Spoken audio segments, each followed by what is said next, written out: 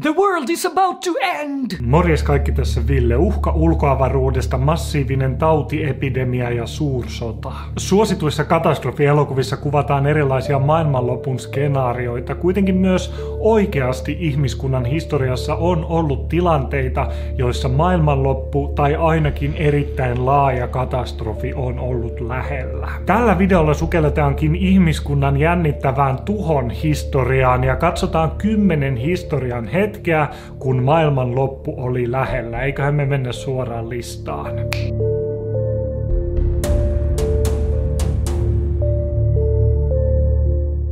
Toisen maailmansodan jälkeen aina 90-luvulle asti maailmassa elettiin kylmän sodan aikaa, jolloin Yhdysvaltojen ja Neuvostoliittojen välit olivat erittäin kireät. Tuona aikana ydinvarustelu kävi erittäin kuumana ja tapahtui monia hetkiä, jolloin tuhoisa ydinsota oli poikkeuksellisen lähellä. Yksi tällainen hetki oli 5. marraskuuta 1956 Suetsin kriisin aikaan. Tuolloin Neuvostoliitto uhkasi ydiniskuilla, jos Britannia, Israel Israel ja Ranska eivät vetäytyisi pois Suetsin kanavalta. Samana yönä NORAD eli Pohjois-Amerikan ilmapuolustuskomentokeskus sai lukuisia samanaikaisia hälytyksiä, joiden mukaan muun muassa Turkin yllä oli tunnistamattomia koneita, Syyriassa lensi Neuvostoliiton MiG-hävittäjiä ja brittiläinen suihkupommittaja oli ammuttu alas. Hälytysten myötä eräs jenkiläinen upseeri pelkäsi aidosti sitä, että niistä saattaisi käynnistyä NATO-laajuinen laajuinen ydinisku Neuvostoliittoa vastaan. Kaikki tämän yön hälytykset paljastuivat kuitenkin vääriksi tai liiotelluiksi hälytyksiksi. Ne oli johtunut muun muassa Joutsen parvesta, Syyrian presidentin kotilennon rutiinisaattueesta ja onnettomuudesta. Lopulta Suetsin kriisi saatiin ratkaistua eikä se yltynyt ydinsotaan.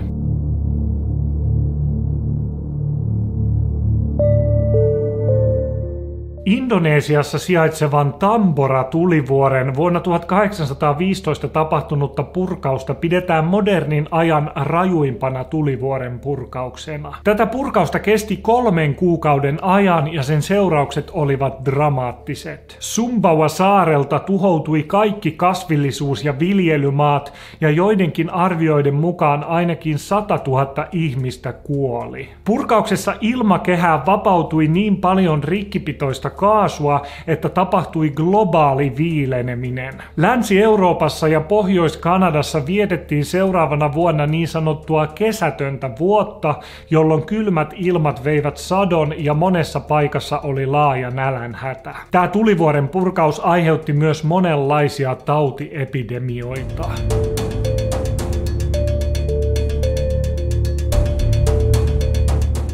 Monissa katastrofielokuvissa kuvaillaan villisti leviäviä tautiepidemioita, jotka uhkaavat tuhota ihmiskunnan. Yksi pahimmista maailmaa oikeasti koetelleista pandemioista oli vuonna 1918 leviämään lähtenyt Espanjan tauti. Ensimmäiset sairastumiset tähän lintuinfluenssaan tapahtuivat yhdysvaltalaisella sotaleirillä, mutta julkisuuteen tieto taudista levisi, kun sitä havaittiin Espanjassa. Tästä tuli myös tämän pandemian nimi. Kun tauti alkoi maaliskuussa, niin jo heinäkuussa se oli levinnyt ympäri maailmaa. Arviolta jopa 30-100 miljoonaa ihmistä sai surmansa sairastuttuaan tähän influenssaan. Meitä ehkä kiinnostaa, että pandemia levisi myös Suomeen asti ja meidän rakkaassa kotimaassa siihen kuoli yhteensä 25 000 ihmistä. Lopulta influenssa alkoi onneksi pikkuhiljaa laantumaan, mikä johtuu erään teorian mukaan siitä, että sen mutaatio infektiot muuttuivat pikkuhiljaa vähemmän tappavaksi niin kuin usein käy influenssojen kanssa. Pandemia kuitenkin niitti tuhoa maailmanlaajuisesti ja on arvioitu, että jopa 20-50 prosenttia maailman väestöstä sairasti sen.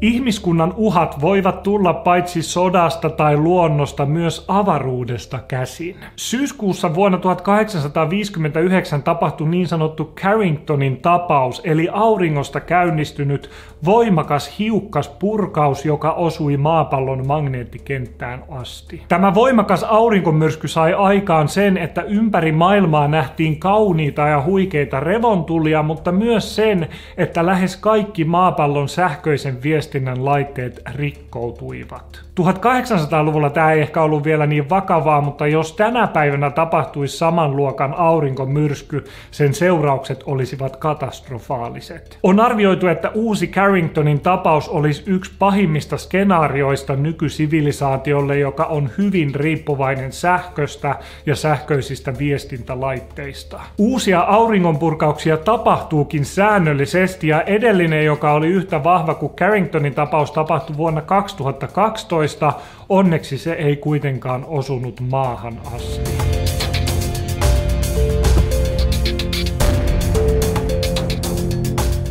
Myös kylmän sodan jälkeen on ollut yksi tapaus, jolloin maailmaa uhkasi ydinsodan käynnistyminen. Kaikki alkoi siitä, kun yhdysvaltalaiset ja norjalaiset tutkijat laukaisivat viattomasti ilmaan luotain raketin. Tämä raketti kuljetti tutkimuslaitteistoa revontulien tutkimusta varten huippuvuorille. Norjalaiset antoi kyllä tiedon tästä raketista etukäteen kaikille naapurivaltioille mukaan lukien Venäjälle, mutta jostain syystä viesti ei kuitenkaan kulkenut kulkeutunut Venäjällä oikeiden henkilöiden käsiin. Kun tämä tutkimusraketti sitten saavutti tietyn korkeuden tietyssä pisteessä, niin Venäjän tutkajärjestelmä erehtyi luulemaan sitä Jenkkien sukellusveneestä laukaisemaksi ydinohjukseksi. Venäjällä ydinaseet asetettiin välittömästi valmiustilaan ja viritetty ydinsalkku kannettiin presidentti Boris Jeltsinille. Jeltsinin oli nopeasti päätettävä, miten toimitaan, kun Yhdysvallat on hyökkäämässä hyökkäämässä ydinasein. Onneksi tätä rakettia jäätiin kuitenkin hetkeksi seuraamaan ja huomattiin, että se kulkeutuu poispäin Venäjän ilmatilasta. Suunnitelmien mukaan tämä tutkimusraketti putosi huippuvuorille ja Venäjä huomasi, että se ei ollut mikään uhka.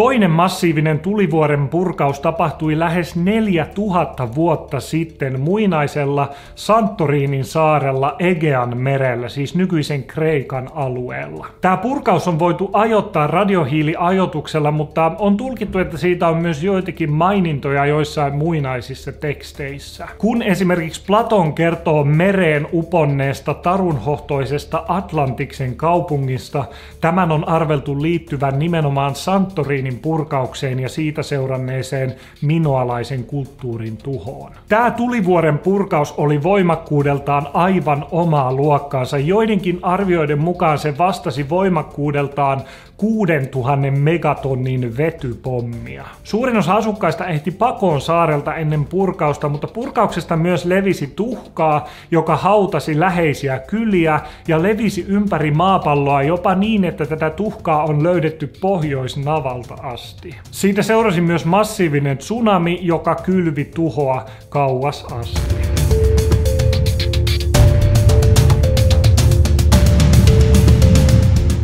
Elokuussa 1883 meksikolainen tähtitieteilijä Jose Bonilla teki mielenkiintoisen havainnon observatoriosta käsin. Hän havaitsi nimittäin kaiken kaikkiaan 450 kappaletta tunnistamatonta mustaa lentävää objektia, jotka liikkuivat taivaalla aurinkoa vasten. Hän onnistui ottamaan näistä havainnoista kuvia sen aikaisella tekniikalla. Nämä kuvat onkin historian varhaisimpia valokuvia tunnistamattomista lentävistä esineistä. Myöhemmin onkin sitten spekuloitu paljon sillä, että mitä tämä Bonilla oikein näki. Innokkaimmat UFO-intoilijat ovat jo ehtineet tulkita nämä lentävät esineet ulkoavaruuden elämäksi. Vuonna 2011 meksikolaiset yliopistotutkijat kuitenkin julkaisivat aineistosta uuden tieteellisen analyysin, jonka johtopäätökset on selkäpiitä karmivat. Heidän laskelmiensa mukaan nämä lentävät mustat objektit olivat nimittäin osia,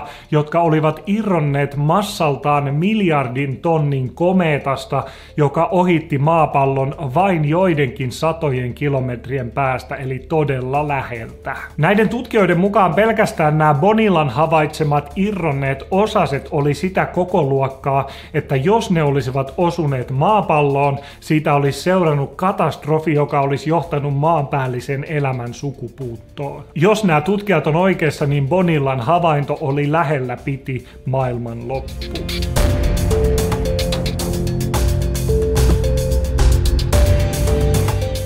Yksi tunnetuimmista hetkistä, jolloin maailma oli ydinsodan partaalla, oli kylmän sodan aikainen Kuuban ohjuskriisi. Kuuba on Yhdysvaltojen näkökulmasta sijainniltaan strategisesti hyvin keskeinen alue. 60-luvun alussa Kuubassa oli vallassa Fidel Castro. Hänen aikanaan suhteet Yhdysvaltoihin kiristyi, kun hän ilmoitti kansallistavansa kaiken Kuubassa olevan omaisuuden. Yhdysvalloilla oli paljon teollisuutta Kuubassa. Tämän seurauksena Yhdysvallat asetti Kuuban kauppasaartoon ja Fidel Castron oli pakko kääntyä Neuvostoliiton puoleen hakemaan sieltä vähän tukea ja liittolaista. Liittolaisuus näiden maiden välillä johti lopulta siihen, että kesällä 1962 Neuvostoliitto sijoitti ydinkärkiä ja sotilaita salaa Kuuban alueelle. Kun tämä sotavarustelu lopulta selvisi Yhdysvalloille vakoilukoneiden avulla, Jenkkien sotajohto suositteli välitöntä iskua Kuubaan. Tämä tilanne oli kireimmillään lokakuun 27. päivä vuonna 1962,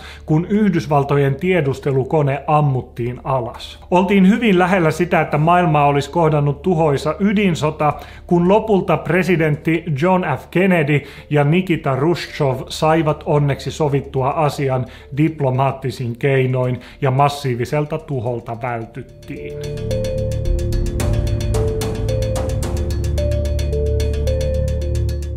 Historian toinen ihmishenkeä kovalla kädellä niittänyt kulkutauti oli Euroopassa myöhäiskeskiajalla raivonnut mustasurma. 1300-luvulla vallalla ollut mustasurma tappoi noin puolet Euroopan väestöstä, siis kymmeniä miljoonia ihmisiä, ja Euroopan ohella se levisi myös Lähi-Itään ja Pohjois-Afrikkaan. Tarkalleen ottaen tämä mustasurma oli ruttoepidemia. Sen aiheutti paiserutto, eli sellainen bakteeri, joka elää lo toisena kirpuissa ja joka levisi Euroopassa nopeasti, koska nämä kirput puolestaan elivät kulkurottien turkeissa kiinni. Nämä kirput käytännössä tappoi nämä rotat ja sen jälkeen kun niillä ei ollut enää isäntää, niin ne siirtyi puremaan myös ihmisiä. Ihmisiin tarttuessaan tämä paiserutto on erittäin kivulias ja tappava tauti. Muutamassa päivässä ihmisellä alkaa kova kuume, johon liittyy kouristelua, oksentelua, kipua ja huimausta. Pian tämä bakteeri saa aikaan ympäri kehoa paiseita, tulehduksia ja turvotusta. Lopulta bakteeri leviää ihmisen keuhkoihin aiheuttaen veristä yskää ja lopulta verenkiertoon aiheuttaen ihmisen kuoleman. Mustansurman vaikutukset Euroopassa oli laajamittaisen väestökadon lisäksi yhteiskunnallisesti ja taloudellisesti hyvin merkittävät.